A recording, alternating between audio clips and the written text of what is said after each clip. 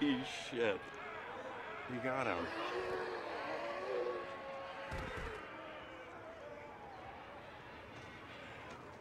So, who do we have next? Uh. Yeah. Burt Reynolds. Tell him, uh, tell him to get Burt Reynolds.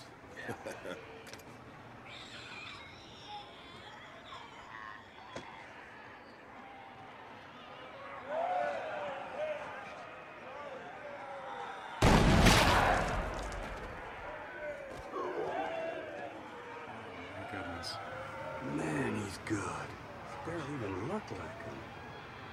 Oh, oh, um,